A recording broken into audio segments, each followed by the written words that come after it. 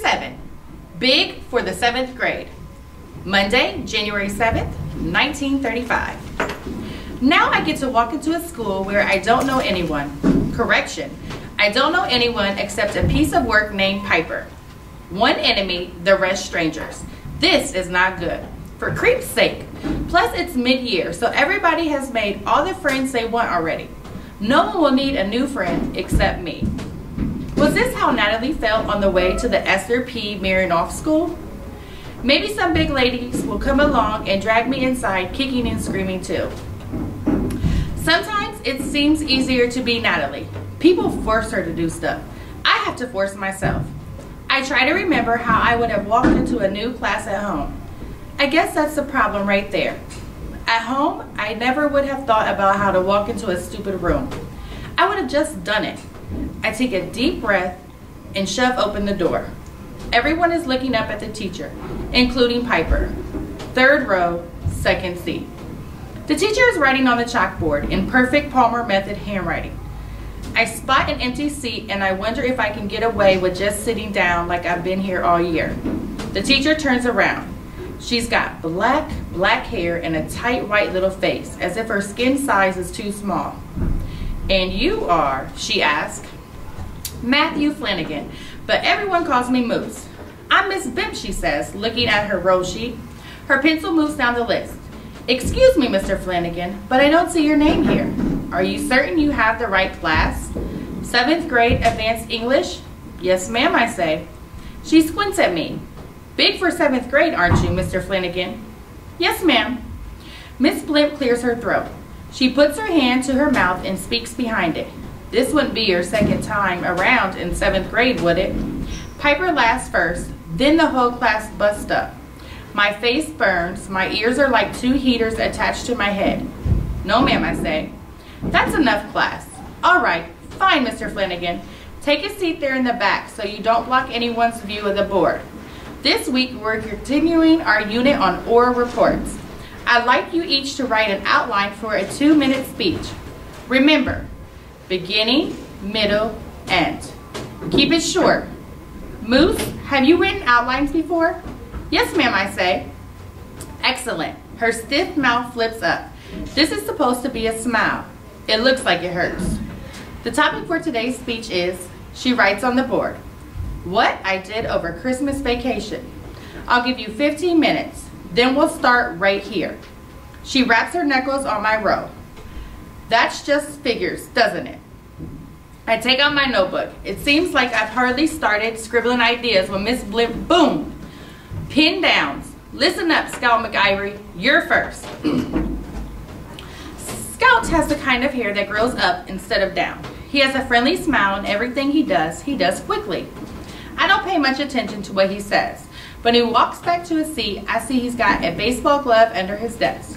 Within seconds, I've dipped my pen in my inkwell. Do you play ball, I write? the note travels up the road to Scout. Even Piper passes it up with no comment. After Scout reads it, he turns around and smiles at me. Then his head ducks down to write his response. Southfield, it says when it comes back. After school today, we need players. Scout. His handwriting is big and wild. It takes up the whole backside. I can't believe my luck. I'm about to write, what position do you play when I see Piper walk up the aisle? She waits while Scout moves his books out of her way. Even after Scout's done moving them, she still waits like he hasn't moved them far enough, although he clearly has. Scout pushes the, the last little corner in and she sails past. In front of the room, Piper still waits like she's not going to open her mouth until she has every single person's eye on her.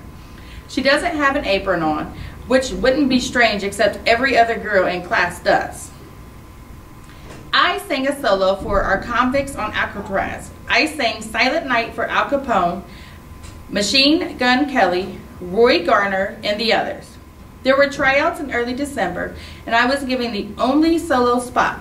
We walked around the outside of the cell house caroling, so I didn't actually see Capone this time, but I'm almost sure I heard him call out, sweet as a songbird. No kidding, a fat kid says. The Al Capone? Piper nods. The very same. How do you know it was him? I recognize his voice. You gotta be kidding, another kid mutters. Moose Flanagan lives on Alcatraz too. Piper smiles at me like we are best friends. Maybe he can tell you more. What the heck was that? Take the little policewoman off Alcatraz and she runs her mouth like crazy. Capone this, Capone that. Exactly what the warden said never to do. And now if I don't talk about Alcatraz, how I'll look like a chump.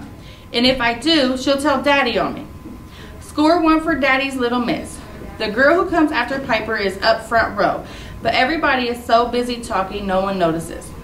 Miss Bimp raps her pointer stick so hard, she practically breaks it before people settle down. The girl turn goes lickety-split, and so does the next guy's. I'm up now. I look out at the strange faces. My arm feels too long. I try crossing them, putting my hands in my pockets, holding one arm with the other. My pants are too tight in the waist and in the crotch too. How come I never noticed this before?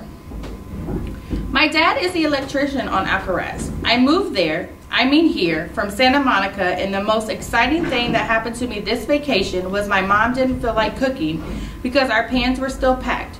So my dad brought home a plate of roast chicken, potatoes, and cooked carrots. I paused a minute. This wasn't what I wrote in my outline. I'm going free form now. From the cell house kitchen. It was cooked by a kidnapper, a two-time murderer, and a postal robber too. Wow, somebody says. Were you scared?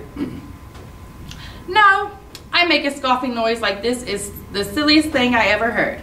The truth is, I was terrified. For the first time in my whole life, I skipped supper. Told my parents I had a stomach ache, which has never stopped me from eating before. He could have been killed, Piper says in a stage voice. She's shaking her head as if it's a wonder I'm here to tell this story. They tried to poison you? A girl with chickmunk cheeks said. No, but they could have. Any of us could have been poisoned at any time, Piper agrees. Is that all, Mr. Flanagan? Miss Blimp cuts in, tapping her pencil on the desk. Yes, ma'am, I say. When I get back to my seat, I trip on a girl's foot and knock my inkwell over. Ink seeps through a crack and drips on my leg. I spend the rest of the class trying to clean it up. After the bell rings, I catch up with Piper in the hall outside. I thought we weren't supposed to talk about Alcatraz, I say.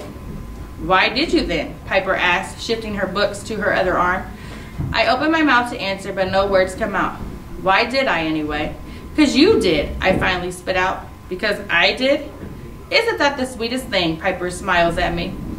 I hurry to keep up with her. Piper is a good six inches shorter than I am, but walks faster. How can this be? She stops and looks at my pants. I look down at myself and see a big black ink blotch, the shape of Florida, uncomfortably close to my fly. So, are you going to help me with my project or not? She asked. What project? Didn't I tell you? We're going to sell the Alcatraz laundry service to kids at school. You know, get your clothes cleaned by famous Alcatraz convict Al Capone, Machine Gun Kelly, and Roy Garner. We'll charge five cents a shirt. No, no IOUs. Money will be split four ways. Jimmy and Annie will help us put the laundry through in their family's bags so they each get a cut. Plus, you and I. You're going to sell the Alcatraz laundry service? Why? I asked.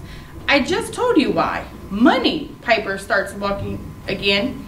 Does your dad know about this? She snorts. Not hardly, she says, taking off again. Hey! I hurry after her as she ducks into a doorway. I didn't say, get out of here, you big baboon. This is a girl's bathroom. A blonde with angry pop-out eyes shouts. Three girls are putting on lipstick. Another is closing the stall door. All the way to my next class, I hear the sound of Piper's laugh. It plays over and over in my head. Thank you.